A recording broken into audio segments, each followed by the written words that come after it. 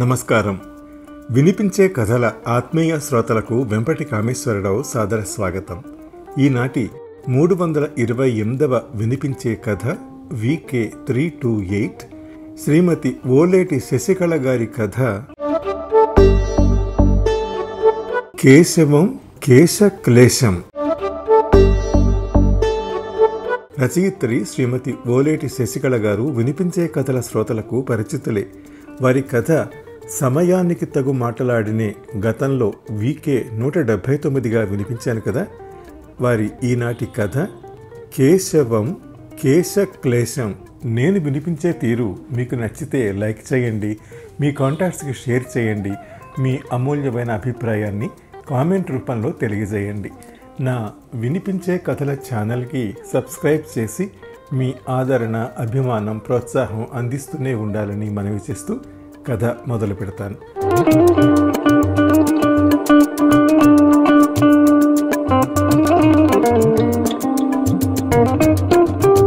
ఒకప్పుడు పెళ్ళి చూపులంటేనే మహా డాబు దర్పం ప్రదర్శిస్తూ అప్పుడే నాకు పెళ్ళి ఒకటి అయినా నాకు అమ్మాయి బాగా నచ్చితేనే నేను ఎస్ అంటాను. లేదంటే నన్ను బలవంతం చేయకూడదు. నా ఆశయాలకు నా కలలకు తగ్గ అమ్మాయి దొరికితే పెళ్ళి చేసుకుంటాను అంటూ డాంబికాలు పోయిన కేశవుడికి ఇప్పుడు ఎవరైనా తనను పెళ్ళి చూపులకు పిలిచారు అని వినగానే నోరు పైకి లేవకపోగా మనసు వెర్రిగంతులేస్తుంది. వేయదు మరి మాడు మీదకి ముప్పై ఏళ్ళ పైనే వచ్చి చేరాయి. రత్నం నా నాగరత్నం ఏడి నీ పుత్రరత్నం అంటూ రైమింగ్తో గోముగా భార్యని పిలిచాడు గోవిందం.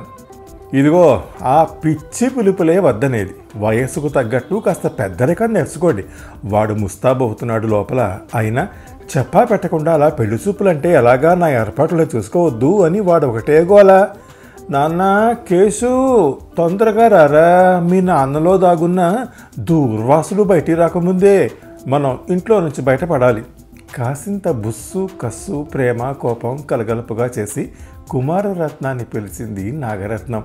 ఆయన మగవధావకి అంతసేపు ముస్తాబేమిటి? మొహం కడుక్కుంది లాగు చొక్కా వేసుకుని వచ్చేయకుండా విసుగ్గా అడిగాడు గోవిందం. ఇదిగో ఇలాంటి అడ్డమైన సలహాలు ఇచ్చే అరవై సంబంధాలు తగలెట్టారు. పైగా వాడి కర్మకాలి పాతికేళ్ళ వయసులో నెత్తి మీద నల్లబొచ్చు కుక్కని కూర్చోబెట్టుకున్నట్టుగా ఉండే ఆ జుట్టు కాస్త మెల్లమెల్లగా గొరుక్కుపోయి గోదావరి లంకలా తయారైంది వాడి బుర్ర. విచారపడింది నాగరత్నం. నిజమేనా? దిష్టి తగలేసింది వేరే వెధవకి.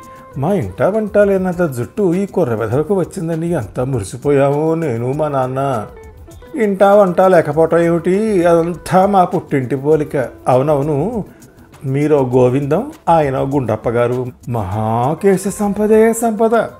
మూతి మూడు వంకర్లు తిప్పి ఎత్తి పొడిచింది నాగరత్నం. విసుగు విరామం లేకుండా మరి కాసేపు పోట్లాడుకునేవారి. కేశు అనబడే కేశవ్ బయటకు రాకపోతే రూపం ఒడ్డు పొడుగు బ్రహ్మాండమైన ఉద్యోగం ఆధునిక భావాలు ఆడపిల్లకు నచ్చే పోకడలు లక్షణాలు పుష్కలంగా ఉన్నాయి కేశవులో. లేనిదల్లా పాపం. కేశ సంపద. నెత్తి మీద నల్లబుచ్చు టోపీ లాంటి విగ్గు పెట్టుకున్న కొడుకును చూసి గోవిందం నవ్వు ఆపుకుంటూ మేలమాడాడు ఏరో ఏ విధవ మురిపించాడేమిటి నెత్తి మీద ఇంట జుట్టు గంటలో? ఏ విధవా బోడీ కాదు నేను. ఇంట్లోకి వస్తూ కూతురు నీలవేణి అంది విసురుగా. నల్ల తాసులా నడుము కిందకి ఉంటే ఆ పిల్ల జుట్టు ఇప్పుడు మొండి మనులా బెత్తుడుంది. అయ్యో అయ్యో జుట్టు అలా కత్తిరించుకుంటారా? ఎవరైనా పెళ్ళి కావాల్సిన పిల్లవి ఇదే మఘాయిత్యమే అంటూ గుండెలు బాదుకుంది నాగరత్నం. అఘాయిత్యం లేదు పైత్యం లేదు. నాకు స్కూటీ కొనిచ్చాడు. నేను వాడికి విగ్గు చేయించుకోవడానికి జుట్టిచ్చా. మ్యూచువల్ ఫండింగ్ అంతే అంటూ నవ్వుతూ భుజాలగరేసి లోపలికి పోయింది ఆ పిల్ల.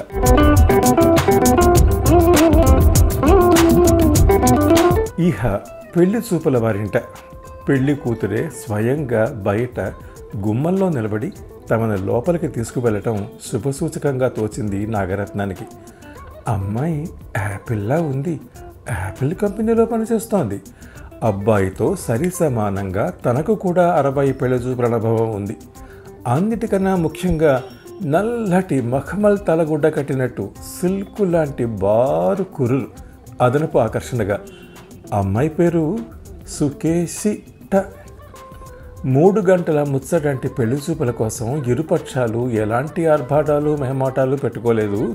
కాసిన్ని మంచినీళ్ళు మరి కాసిన్ని మాటలు తప్ప మరే అదనాలు నడవలేదు మధ్యలో.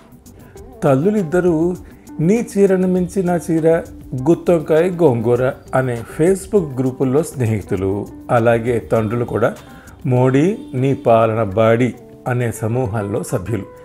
ఈ మాత్రం చాలదా అభిప్రాయాలు కలవడానికి అని తెగ ఆనందపడిపోయారు. కింద వీరి ముచ్చట్లు ఈ విధంగా ఉంటే పైన అబ్బాయి అమ్మాయి తాలూకు ముచ్చట్లు మరొక విధంగా సాగుతున్నాయి. కేశవ్ మీది మొదటి నుండి బాల్ హెడ్డా లేక ఈ మధ్య వచ్చి చేరిందా? అమ్మాయి నోటి నుంచి బాణంలా వచ్చి తాగిన ఆ ప్రశ్నకు మంచినీళ్ళు తాగుతున్న కేశవ్కు పొలమారింది. అతనికి జవాబు ఇవ్వటానికి కూడా అవకాశం ఇవ్వకుండా రెండో ప్రశ్న దూసుకొచ్చింది. మీకు తెలుసా? నేను సగం మందిని రిజెక్ట్ చేసిన కారణం బట్టతలే. కేశవకి కోపం వచ్చింది. కానీ పేదవాడి కోపం పెదవికి బోడిగుండు కోపం సంబంధానికి చేయటని తెలుసుకుని సంయమనంగా మౌనం పాటించాడు. ఖచ్చితంగా అనడం అయితే అని ఉంది కానీ అన్ని అర్హతలు ఉన్న కేశవని వదులుకోవాలంటే సుకేసికి బెంగగానే ఉంది. కానీ జుట్టు విషయంలో ఎట్టి పరిస్థితుల్లోనూ కాంప్రమైజ్ అవ్వదలుచుకోలేదు. ఇంకా ఆమెతో సంభాషణ కొనసాగించడానికి ఏమీ కనిపించక కేశవ్ వెళ్ళిపోవడానికి లేచాడు. వెళ్ళే ముందు సుకేసితో సుకేసి ఇప్పుడు నేనేమి చెప్పలేను కానీ మీకు నేను ఒక మెయిల్ పంపిస్తాను. ఓపికంటే చదివి రెస్పాండ్ చేయండి అంటూ చెప్పేసి ఉదాసీనంగా సెలవు తీసుకున్నాడు.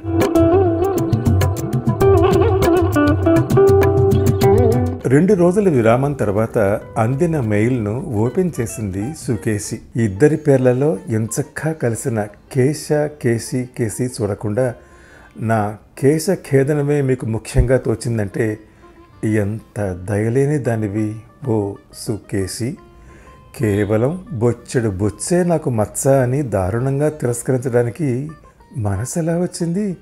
నా కేశ క్లేశ గాథ నా బాధ కథగా రాశా బాదేను అనుకోకుండా బాదాం పిస్తా తింటూ చదువు. మా తాతగారు గుండప్ప గారు.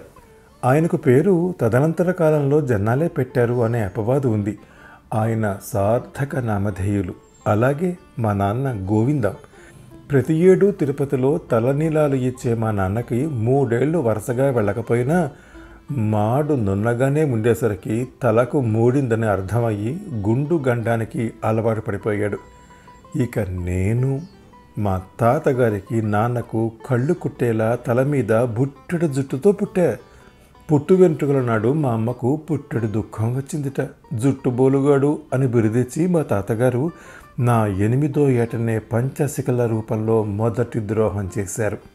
ఆ తర్వాతి అఘాయిత్యం కోరుకొండ పబ్లిక్ స్కూల్లో అప్రతిహతంగా కొనసాగింది. నా కృష్ణ కేశాలపై ఒక నేవీ టోపీ పెట్టి దాని చుట్టూ గోరుగుడు సాగేది. వెంట్రుక పొడవు ఒక సెంటీమీటర్ మించి ఉంచకుండా క్షవరమయ్యేది. ఆ విధంగా నేను పుట్టి బుద్ధరిగాక నా సుందర కేశ సంపదను మనసారా చూసుకున్నది లేదు. అవి నా ఇంజనీరింగ్ రోజులు నా కేశ చరిత్రలోనే స్వర్ణాక్షరాలతో లిఖించదగ్గ యుగం. బుర్రకు నలుదిక్కుల స్వేచ్ఛగా పెరుగుతున్న నల్లని కురులు. వారానికో స్టైల్.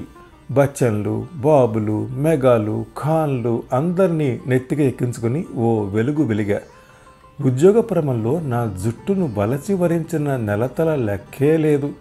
అప్పట్లో జెండా ఊపేసిన పోయేది అత్యాశకు పోయి ఇంతవరకు తెచ్చుకున్నా. అప్పుడు నా వయసు పాతికేళ్ళు. ఒకరోజు అది ఒక చీకటి రోజు. నా దువ్వెనకు కుచ్చులు కుచ్చులుగా జుట్టు మలిచిన రోజు. కేశక్లేశం మొదలైన రోజు. కేశవర్ధనతో పైకెళ్ళి పారాషూట్తో కిందకి దిగి క్లినిక్లో నెలలు గడిపి మీరా భజనలు పాడి బాడీగా లోరియల్లు ట్రెస్మేలు గార్నియర్లు ఫారిన్ నుండి తెచ్చి మరీ పులిమిన. కేశగ్లాన్ని తగ్గకపోగా మనఃక్లేశంలోకి దింపింది. శుక్రుడిలోనికి కుదురొచ్చి చేరాడు. అబ్బాయికి జుట్టుపోవటం అమ్మాయిల జట్టుపోవటం ఒకేసారి జరిగాయి. అదే సమయంలో శనీశ్వరుడి చల్లని చూపు కూడా నా సహస్రార చక్రంపై పడడం ఏమిటి ఆ ప్రదేశం అంతా నున్నని ద్వీపకల్పంగా రూపాంతరం చెందింది. ఆ శని మహాదశలో పరిచయం అయ్యాడు మహామహోపకార కేశగ్లానిహార కేశఘ్న నివార శిరోర్హ ఉద్ధార శ్రీ శ్రీ శ్రీ కేశానంద మహారాజ్ కేశానందాశ్రమం కోనసీమలో కొబ్బరి తోటల మధ్య జనాలతో కిటకిటలాడుతూ ఉంటుంది. అందరూ నాలాంటి బట్టతల బాధితులే. కేరళలో పుట్టి హిమాలయాలలో తపస్సు చేసి గొప్ప సిద్ధులు మూలికలను సాధించి కోనసీమలో ఆశ్రమం పెట్టారట కేశానంద స్వామి. కేశానంద స్వామి మలయాళం ఎప్పుడూ మాట్లాడగా నేను చూడలేదు. శుద్ధ గోదారోళ్ళ తెలుగులోనే మాట్లాడేవారు. ఆశ్రమంలో నెల్లాళ్ళు కొబ్బరి నూనెలో రకరకాల మూలికలు కలిపిన కేష్ కేష్ ఆయిల్తో బుర్రమర్ధనాలు చేయించుకుని కొబ్బరి నూనె వంటకాలు తిని తిని బెంబేలెత్తిపోయాను నేను. ఆ రోజు ప్రవచనంలో కేశానంద స్వామి శివుడి జటాజుటం గురించి చెప్పసాగాడు. శివపురాణంలో కేస్ కేస్ నూనె గురించి ప్రస్తావన ఉందని శివుని జటాజూటాలకు కేస్ కేష్ కారణమని శివుడు తన జుట్టును శ్రద్ధగా కాపాడుకోవటం కోసం స్వర్గం నుండి సాక్షాత్తు గంగమ్మను దింపి తన తలలో దాచుకున్నాడని వ్యర్థ ప్రలాపాలు చెప్పటం మొదలుపెట్టాడు. అది కేశ కేష్ కాదని క్యాష్ క్యాష్ అని నాకు అప్పటికే అర్థమైపోయింది. ఆ తరువాత కేశానంద భజన మొదలుపెట్టారు అతని అనుచరుడు కేశాలు ఇవ్వరా కేశ? నిన్నే నమ్మితి మీ ఆశపాస ఆశపాశ క్లేశనాశ అంటూ భజన స్పీడ్ అందుకోగానే క్లేశ నాశ అనడం మర్చిపోయి కేశనాశ కేశనాశ అని పాడటం మొదలుపెట్టారు. నిజమే నా ద్వీపకల్పాన్ని పూర్తి మైదానం చేసినవాడు కేశనాశుడే ఆ రాత్రికి అక్కడి నుంచి పారిపోయి వచ్చేశాను. మరో నెలలో కేశానంద తన విగ్గులు కొబ్బరి కురుడీలతో అజ్ఞాతంలోకి పారిపోయాడని వార్తల్లో చదివే. నా రెండవ ప్రస్థానం అకేషియా టు సుకేషియా అంటే no hair to good hair ట. నగరంలో పెద్ద పెద్ద హోర్డింగుల మీద ఎక్కడ పడితే అక్కడ ప్రత్యక్షమవుతూ టీవీల్లో మీ బోడి గుండు కాకూడదు మీ ఆత్మవిశ్వాసంపై పేల్చిన గుండు వెంటనే సంప్రదించండి మా అకేషియా టు సుకేషియా అంటూ ఊదరగొట్టేస్తుంటే నా ఆశలతో పాటు నా వెంట్రుకలను చిగురింపచేస్తారేమో అన్న ఆకాంక్షతో వారి క్లినిక్లో అడుగుపెట్టాను. బ్రెజిల్ రిటైర్డ్ డాక్టర్లట డాక్టర్ బత్సు బొత్సుబాబు డాక్టర్ షిరోజా ఇద్దరు భార్యాభర్తలుట. విడివిడిగాను జాయింట్గాను జుట్టు మీద ఎన్నో పరిశోధనలు చేసి భారతదేశపు ఖల్బటాల అంటే బటతలల మీద బొత్సు మొలిపించడానికి స్వదేశానికి తిరిగి వచ్చారట. సచిన్కి వాంకటే స్టేడియం దొరికినట్టు వీళ్ళిద్దరికీ ప్రయోగాలకు నా బుర్ర క్రికెట్ మైదానాల మంచి అనువుగా దొరికింది. ఇహ చూడండి హెయిర్ ట్రాన్స్ప్లాంటేషన్ అని మాడులో కొక్క్యాలు తగిలించి వెంట్రుకలు నాటారు. దాన్ని నా బుర్ర తిరస్కరించడంతో హెయిర్ ఎక్స్టెన్షన్స్ అని హెయిర్ వీవింగ్ అని హెయిర్ టోపీస్ అని రకరకాల టోపీలు పెట్టి లక్షలు గుంజారు. నా బుర్రను రామకీర్తన పాడుతూ మీరంతా చేసిన ప్రయోగాలకు నా బుర్ర శాశ్వతంగా కేశమూలాలని కోల్పోయి నాకు శాశ్వత క్లేశాన్ని మిగిల్చింది. నా వెర్రితలకు ఇప్పుడు సూది చూసినా వెర్రెక్కిపోతోంది. సుకేసి నేను తెగించేశాను. నన్ను నన్నులా స్వీకరించాలి నువ్వు. గుప్పెడి వెంట్రుకల కోసం నా గుప్పెడి గుండెను ముక్కలు చేయటం న్యాయమా? గురుత్వాకర్షణ శక్తికి ఏవైనా కిందకు రాలాల్సిందే. ఇది సైన్సు నీకు తెలుసు. నేను నా జుట్టు గ్రావిటీ బాధితులం. పోయిన జుట్టు కోసం అవిశ్రాంతంగా ప్రయత్నించి ఊడిపోయిన ఈ భగ్న కేశ ప్రేమికుడను కరుణించలేవా? ఓ సుకేసి చూడుమా నాకేసి ఎన్నో నూనెలు రాసి రాసి నా జుట్టంతా పూర్తిగా నాకేసి ఆక్రమించింది బట్టతల రాకాసి నువ్వు వద్దంటే ఈ కేసి పడతాడు దారి కాశీ కేసి ఈ విగ్గులు మోసి మోసి వేశారేను ఓ అందాల రాసి అందుకే ఓ మూడు ముళ్ళేసి నీ వాడినవుతా సుకేసి ఇట్లు నీ ప్రేమ పిపాసి. ఇంత దైన్యంగా రాస్తే ఎవరు మటుకునో అంటారు? పైగా ఈ మధ్య సుకేసి కుటిల కుంతలాలు కాస్త జటిల కుంతలాలుగా మారుతున్నాయి. తల నీలాలు తల ధవళాలుగా రూపాంతరం చెందుతున్నాయి. అందుకే ఇంకా ముందు ముందు ఎన్ని సంబంధాలు చూసినా ఇవే బోడిగుండ్లు తగలవని గ్యారంటీ లేదు కనుక కాస్త పెద్ద మనసు చేసుకుని కేశవుతో పెళ్ళికి ఒప్పేసుకుంది సుకేసి కేశపు మమకారము నీ క్లేశముతో నంతమౌను లేదనుమానం ఆశను పెంచిన కురులవు పేకల మేడలు మెరుపుల పిడికిటి సంఖ్యన్.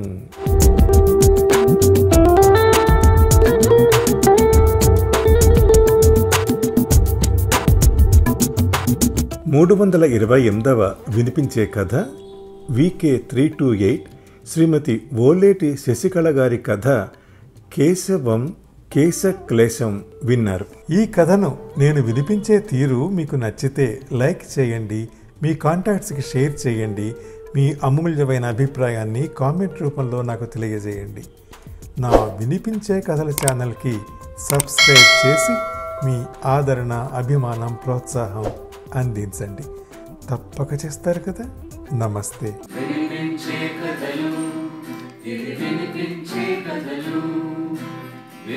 వినిపించే కథలు ఇది వినిపించే కథలు.